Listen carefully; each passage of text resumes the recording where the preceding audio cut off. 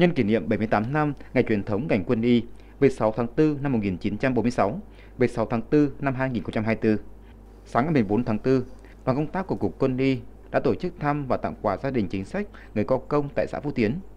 Dự chương trình có đồng chí Phạm Quang Sáng, Phó Chủ tịch Ủy ban dân huyện, cùng lãnh đạo xã Phú Tiến. Đoàn công tác đã dâng hương báo công tại bia di tích Cục Quân y về những hoạt động của đơn vị trong những năm qua. Với nhiệm vụ bảo vệ, chăm sóc sức khỏe bộ đội, cứu chữa thương binh, bệnh binh, tham gia bảo vệ, chăm sóc sức khỏe nhân dân, Cục Quân y thường xuyên có các hoạt động thăm hỏi, tặng quà các thương binh, hỗ trợ các gia đình chính sách có hoàn cảnh khó khăn, khám chữa bệnh, cấp phát thuốc miễn phí, tặng quà tri ân các gia đình chính sách, người có công, các gia đình có hoàn cảnh khó khăn của xã Phú Tiến.